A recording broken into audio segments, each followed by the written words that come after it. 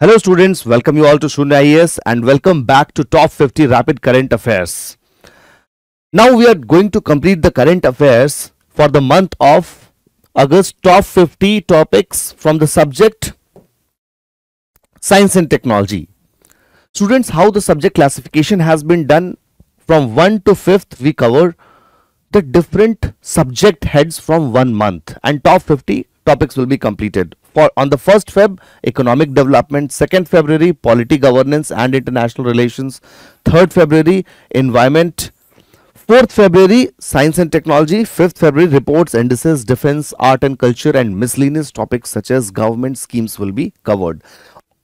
Time is you know less. You have to revise current affairs and you know uh, there is current affairs crash course going on that in which I have taken all the nuggets from the integrated current affairs batch in which the prelims come mains preparation was there holistic coverage of two years of important current affairs along with the previous year questions uh, uh is being discussed into it you can join that also and you can revise with the free initiative here with the important high yielding topics for the current affairs so let's start. Aditya L1 mission has been launched. So missions to the sun, not just by ISRO, but by NASA also becomes very important. One of the mission is Punch mission. Aditya L1 mission. L1, what does the L1 means? UPSC will go into the technology and ask what do you mean by Lagrange point. How many Lagrange points does exist? There are five Lagrange points L1, L2, L3, L4, L5 we are approaching Aditya at L1. L1 is a place, Lagrange point students is a place where the gravitational force, the gravitational force depends on the mass and the distance between the two objects has is in equilibrium. Basically it is in equilibrium from the earth as well as the sun. Therefore, you will find this L1 here, just look at this L1. It forms a halo orbit insertion into L1. So here if into this orbit the equivalent force will be applied by the sun and equivalent force will be applied by the earth. This is called a Lagrange orbit. Got this point? Now some Lagrange points are behind the sun as well. L1 is between earth and sun. This fact is important. So what is the objective of this Aditya L1 mission? This Aditya L1 mission basically the photosphere, chromosphere and coronal ejections are there which are going to impact the atmosphere around the earth. It is going to study all these chromosphere and photosphere of the sun. And how it is impacting the corona the outer coronal layer of the sun will be studied by the Aditya L1 mission. I hope you understand. Okay. Uh, Lagrange points are the positions in the space where the gravitational forces of the two body system like the sun and earth create pockets of gravitational equilibrium this gravitational equilibrium holds it into a halo, an orbit. Okay, so each planet with respect to sun has uh, five Lagrange points. In L2, what is there? In L2, you will find the famous James Webb telescope. James Webb Space Telescope. So L2, there is James Webb Space Telescope looking far back into the time. Why it is looking back into the time? We have discussed that as well. Okay. And Lagrange 1, Aditya L1 mission. Now, there is a specific kind of technology which is called as slingshot technology you can again look into the diagram over here okay this technology is energy efficient for our chandrayaan 3 also we use this technology called as slingshot technology here students this is earth and here you will find somewhere sun is there. So at certain point the periodic slingshot by the name it is very clear if you will you know have a stone and it a sling is there with the stone at certain point if you increase the momentum then the velocity will increase. Similarly here into the parabolic orbit here velocity is increased so many times so that it follows this path. And at certain point it will enter into Lagrange orbit Got this point? This slingshot technology. Which vehicle is used? We all understand. GSLV Mk3. India is capable with the cryogenic engine technology. But here for this mission, it was not GSLV but PSLV XL that is being used. Okay, PSLV XL is being used to be launched by it now it has been launched PSLV XL rocket from Satish Dhawan, Sriharikota. It has been deployed in L1, first Indian space observation class solar mission. So this statement may come in the examination. You might be, you know, thinking twice that is it the first, you know, uh, Indian space based observation class solar mission? Yes, it is the first. Okay.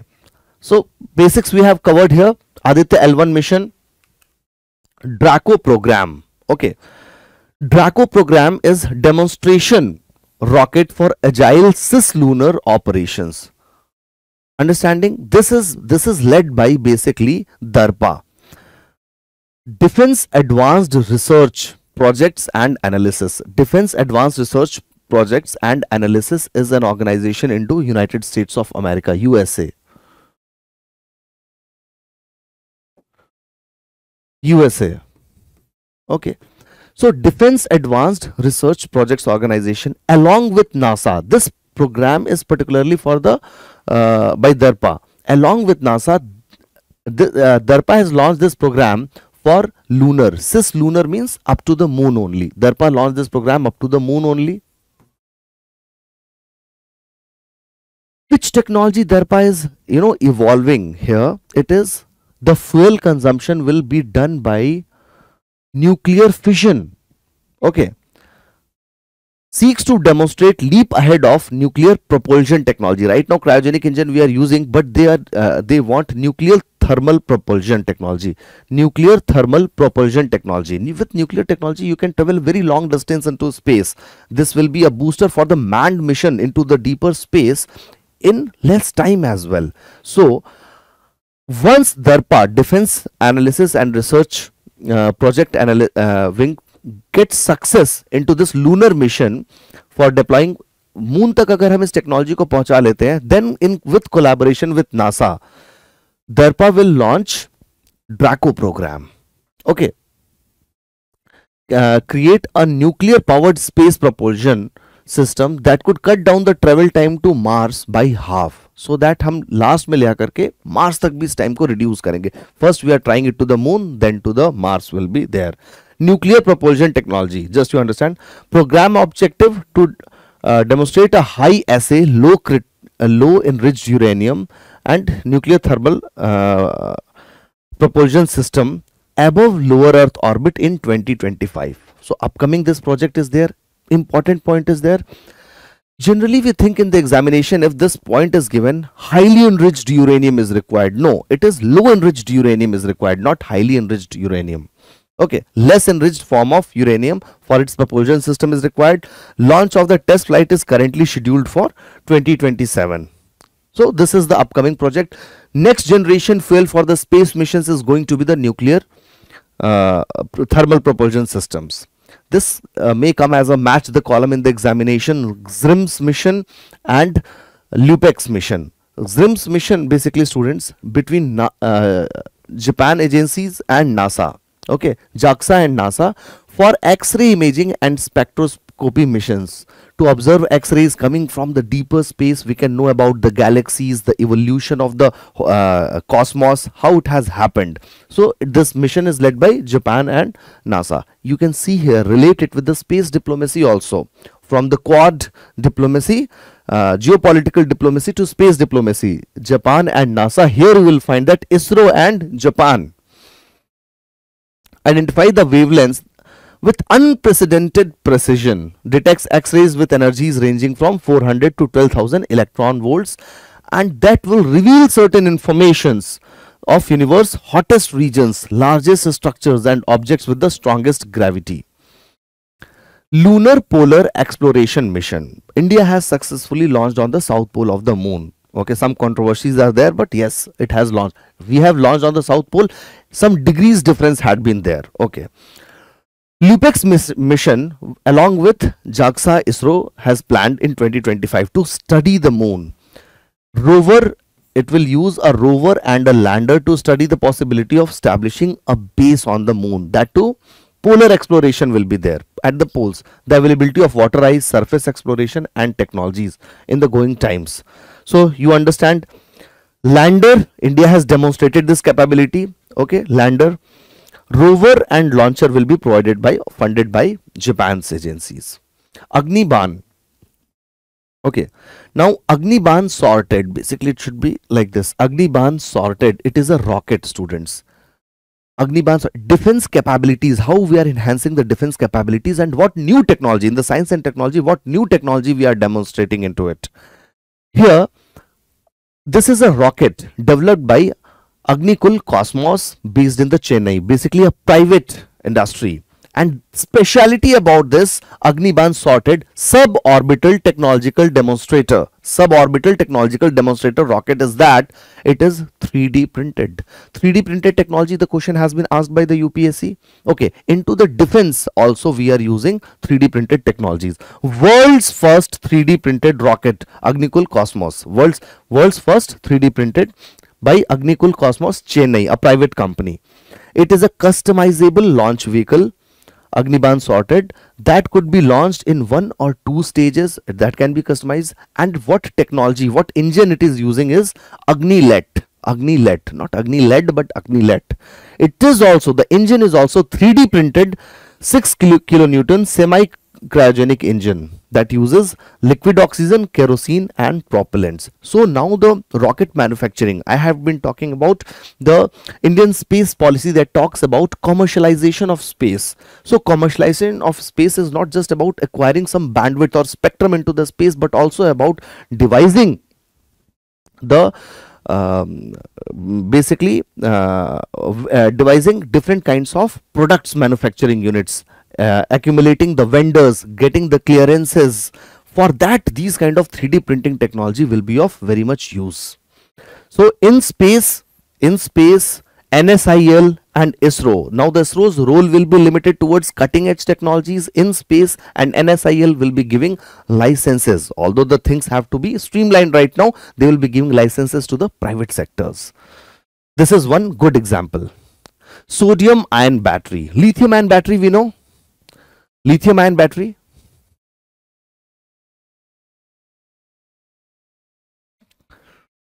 Recently lithium has been taken out from the atomic minerals list so that it can the the mining license can be given to the private players not just the state players.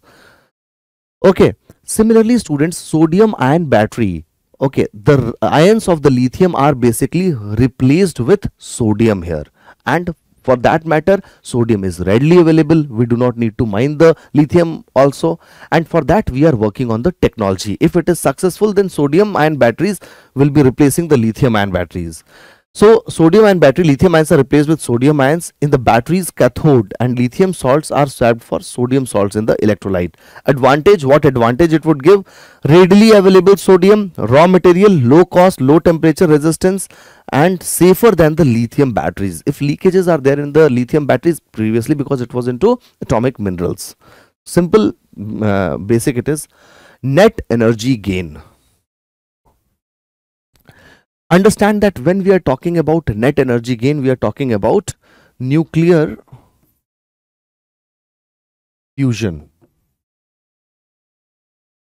Not fission nuclear fusion. We are talking about nuclear fusion technology. So nuclear fission we have demonstrated. Uh, nuclear plants are there uh, with russia with india with us with japan we know fusion technology net energy gain you need to understand this word that for a reaction to happen fusion of two fissile material has to happen. We need to provide certain energy beforehand. But once because the fusion happens if more energy is generated then the net gain in energy is there. By some energy we are providing. Utilizing that energy though fissile material combine kar rahe fusion is happening. And then it is generating lot of heat lot of energy and the fusion product. That is called as net gain in energy. Net gain in energy. Now students for the second time net gain in energy has been demonstrated. At the global level we are making tokamak project that is happening in france वहाँ पे बहुत सारी countries combine होकर के आई है some of them are supplying certain fund some of them are helping with the scientist some of them are helping with technologies like India is helping with cryostat into it okay the globally it is being performed the tokamak project it is critical for commercial fusion, okay, commercial fusion power. Implies the researchers could generate more energy than the nuclear fusion process consumes in the beginning it is provided to it it can generate more energy over there. So that commercially it can be harnessed. If this uh, uh, technology gets the currency and it uh, gets involved into commercial production then the problem of you know energy diversification energy basket will be solved entirely. India's role india is a part of the iter project. It is called as international thermonuclear experimental reactor international thermonuclear experimental reactor project to demonstrate net energy gain from fusion reactors. India has also constructed its indigenous tokamak. It's called as Aditya, not Aditya L1. Hana? This is uh, indigenous tokamak Aditya and semi-indigenous, semi-indigenous steady state superconducting tokamak. SS1 we are call calling it. Okay. So basically here some energy has to be released, net energy gain. You understand the conception? Gene edited mustard. Okay.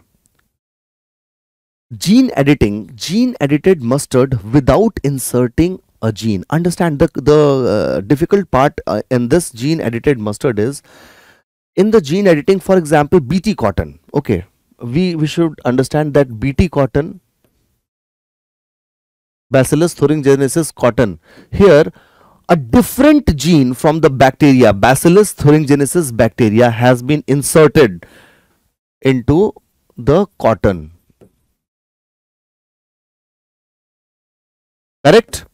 Therefore, this is a transgenic crop a different gene has been inserted into the cotton. Bacterial gene has been inserted into the cotton. It becomes a transgenic crop. So gene editing helped in creating a transgenic crop. Dms 11 dhara mustard 11 okay genetically modified crop yet it has not got approval from the genetic engineering appraisal committee for the commercial productions. Still testings are happening. Bt got cotton one and only crop that has got the license for commercial cultivation across the country. Now students, gene edited mustard. It is there mustard has been edited genetically but it is not a transgenic crop. No new gene has been inserted into it that you need to understand. With the help of CRISPR-Cas technology, okay, CRISPR-Cas technology, you understand, it is like a molecular protein, molecular scissor, molecular tool to cut and uh, edit the DNA okay. So basically what happens mustard seed has up kind of pungency. Pungency because it contains gluco glucosinolates of 120 to 130 you know uh, ppm parts per million. Because of that certain uh, you know but uh, pungency is there into the taste. Canola is a specific type. Rapeseed canola different types of varieties of mustards are there. Canola is specific variety of um, mustard which had its quantity into range of 30 parts per million 30 ppm तो क्या किया हमने we wanted to reduce this pungency but why this pungency is there into it basically pungency helps uh, to safeguard it from the pests because pests find it difficult to you know deal with this 120 130 ppm glucosinolates therefore they do not consume it now the pods outer covering are there after the editing after the gene editing what has happened the outer pods इनके में जो this is the seed outer pods have um, pungency of 120 to 130 ppm और जो inner proper mustard seed है वहाँ पर 30 ppm parts per million glucosinolates are there. Therefore, this gene editing without making it, it, a transgenic crop produce the desired results. Therefore, you understand you should understand this technology. Okay. These compounds serve as natural defenders protecting the plant from pests and diseases. Therefore, it is helpful that in the outer pod if the ppm is maintained, parts per million is maintained, then the defense mechanism will be intact for the mustard and if inside it is 30 ppm it is good for the consumption So India's most significant domestically grown oilseed is rapeseed mustard, not canola. In US it is grown canola. Okay, this had been the genet, uh, genet mustard. Now let's understand the mustard scenario. India's most important winter crops. Sown between mid-October, late November, self-pollinating crop it is, difficult to hybridize naturally as it cross pollinate naturally हम cross uh, hybridize नहीं कर सकते हैं it is the largest edible oil yielding crop of India now you will say sir mustard से ज़्यादा seeds दूसरे consume हो रहे हैं पाम ऑयल बहुत ज़्यादा कंज्यूम हो रहा है सोयाबीन ऑयल कंज्यूम हो रहा है highest oil yielding crop not consuming crop oil yield uh, into the oil seed you have no, you have some parts of protein oil cells are there protein is there and then some amount of oil when you crush after cooking the oil is released from them and de-oiled cake is remaining so oil yield wise, mustard has very good oil yield, better than the soybean itself. Mustard uh, is grown, UP is leading into it uh, consumption. If we see by the consumption, palm oil 45% consumption, then soybean oil 20%, mustard oil 10%, sunflower oil 9%, cotton seed 7%, groundnut 1%. Groundnut is very costly oil as well. Hmm? I hope you understand this. So thank you guys. Let's meet tomorrow in another session of Top 50 Rapid Current Affairs.